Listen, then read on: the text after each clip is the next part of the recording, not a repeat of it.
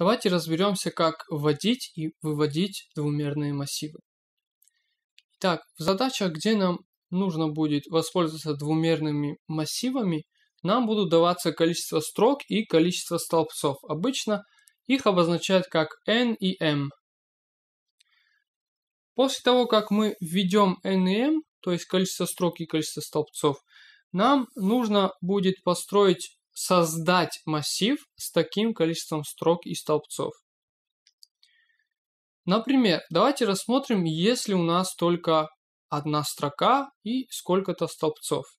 Заметим, что этот частный случай похож на одномерный массив. То есть у нас есть одна строка и сколько-то столбцов. То есть это одномерный массив с количеством строк, это с количеством элементов равным количеством столбцов.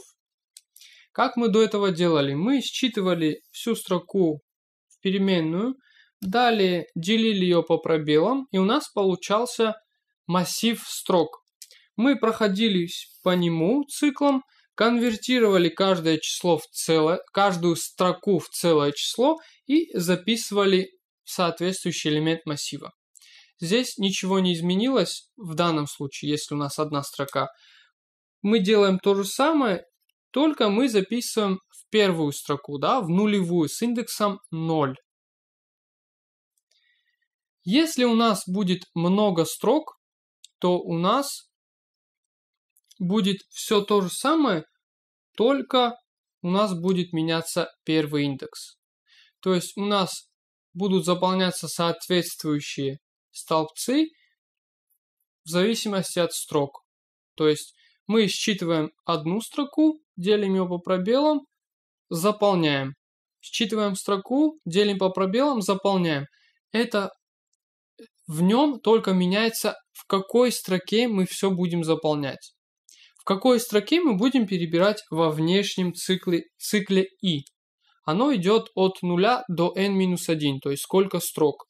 И внутри циклов по g у нас фигурирует это i. То есть до этого было 0, а теперь i. Так как у нас строки меняются от 0 до n-1. Вот и все. Давайте рассмотрим теперь, как выводить двумерные массивы. Давайте опять начнем и с того, если бы у нас в массиве, в двумерном массиве была только одна строка. Мы бы прошлись от нуля до количества столбцов минус 1 и здесь равно. И просто обращались бы к соответствующим элементам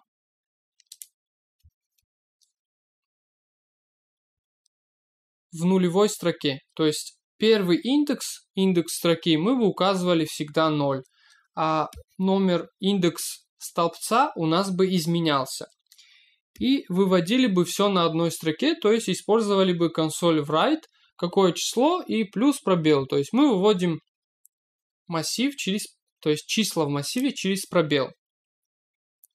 Что изменится, если теперь у нас будут не одна строка, а три строки, например. У нас останется все то же самое, только нам нужно будет, во-первых, обращаться к соответствующей строке. И после того, как мы выведем строку, нам нужно будет смещаться на новую строку, чтобы все не вывести на одной строке. Давайте рассмотрим, как это делается. Итак, у нас внешний цикл у нас по строкам от 0 до n-1. Внутренний цикл у нас по столбцам.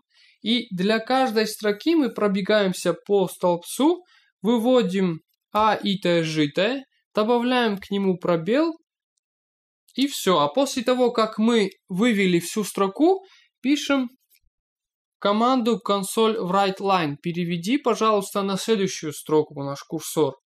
Внутри мы ничего не выводим, мы просто перемещаем наш курсор.